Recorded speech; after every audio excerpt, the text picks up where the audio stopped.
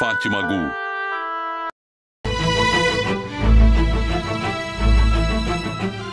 É a Yadgar, a empregada do Zia Charan, não é? Ela não me ligou porque ficou curiosa. Não abra a porta pra ninguém, Mucadês. Não atenda o telefone. Não fale com ninguém, entendeu? Não fale com ninguém, não fale. Tá bom, pode deixar. Vamos logo, estamos bem atrasados. Não precisa de mim mesmo no restaurante? Pode ficar em casa. Hã, você que sabe.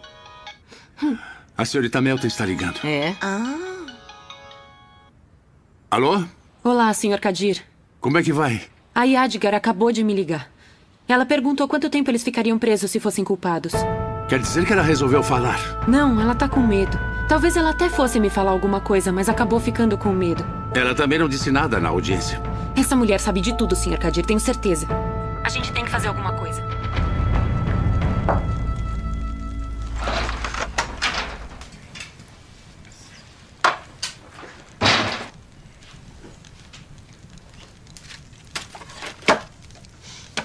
Podemos ir em cinco minutos. Por que tá com pressa? Não precisa ter pressa.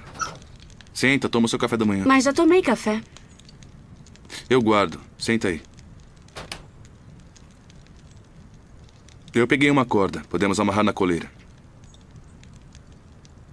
O vilarejo é longe? O Sr. Montaz disse que leva uns 45 minutos a pé. Tudo bem. Caminhar vai fazer bem pra gente. Kerim. Ontem à noite eu tranquei a porta porque. Não é porque eu não confio em você, não entenda errado. Tudo bem.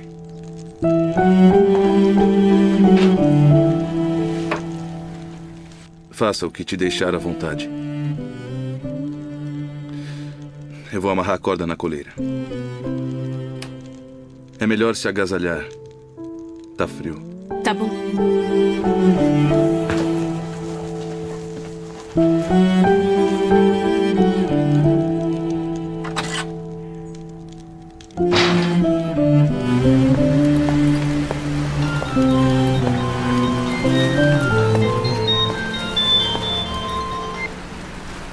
Alô? Senhora Yadigar? Sim, sou eu. Olá, sou Kadir Pakalan, advogado da Fátima Gu. O senhor falou com a senhorita Melton? Sim, ela falou agora há pouco com a senhora. A senhora Melton teve uma impressão errada, por isso ela ligou para o senhor. Senhora Yadigar, a senhora não nos ajudou no tribunal como testemunha. Não ajudei porque eu não tenho nada a dizer. A senhorita Melton não acha isso. Ela tem certeza que sabe de tudo. Eu falei para ela que não sei de nada. Por favor, me deixe em paz. Eu sei que a senhora tem uma filha e também tem uma neta, não é mesmo, senhora Yadigar? Eu entendo o que está tentando fazer. Mas eu não sei de nada, eu não posso ajudar. Quer a senhora saiba ou não, eu acho que devíamos conversar pessoalmente. Eu quero que saiba que qualquer detalhe que a senhora puder nos dar sobre aquela noite será de vital importância para todos nós, não tenha nenhuma dúvida disso. É claro, é claro. Poderia ser muito importante para Fátima Gu. Por favor, dona Yadigar, trata-se do futuro de uma jovem. Coloque-se na posição dela ou então na da família. O que faria se fosse ela? Não seguraria uma mão que a ajudasse? Não pediria ajuda toda vez que visse uma luz de esperança? Iria deixar que todos eles saíssem impunes? Por favor, me ajude. Por favor, se coloque no lugar dela. Eu estou pedindo, por favor. A senhora está em casa? Não, mas logo chegarei. Tudo bem, então eu vou até sua casa. Poderemos conversar. Muito obrigado, senhora Yadgar. Até mais tarde.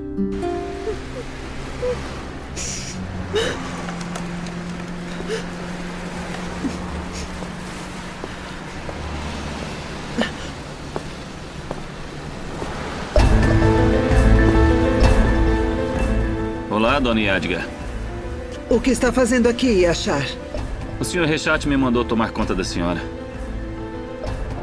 Puxa vida, como ela é linda. Quantos meses? 18 meses. É sua única neta, né? Não põe a mão nela. A bonequinha da vovó. Ela é linda. Nós já estamos indo embora. O carro tá ali. Nós vamos a pé. Eu prometi ao Sr. Rechat que ficaria com a senhora. Você não precisa. Por favor.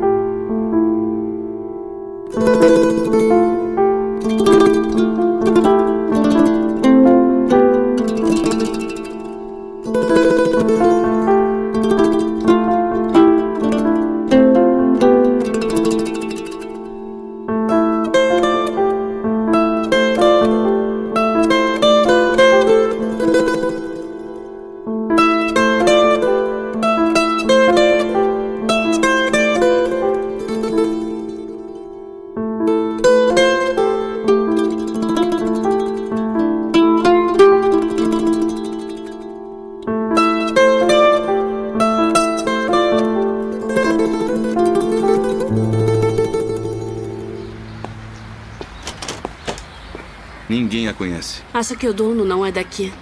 Eu falei onde fica a nossa casa. Se alguém vier, vão saber onde ela está. Você é de longe daqui, menina.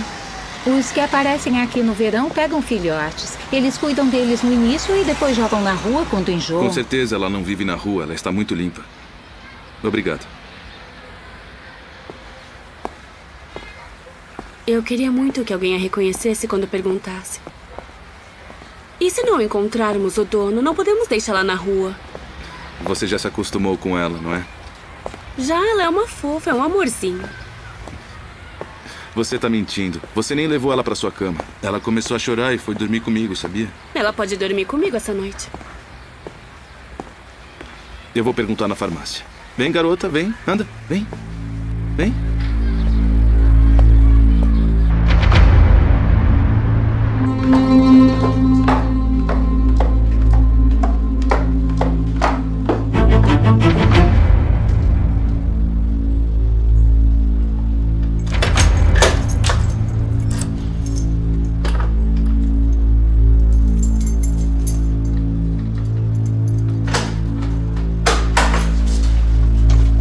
Oi, o que foi?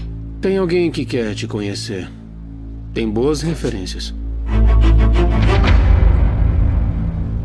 Eu posso entrar?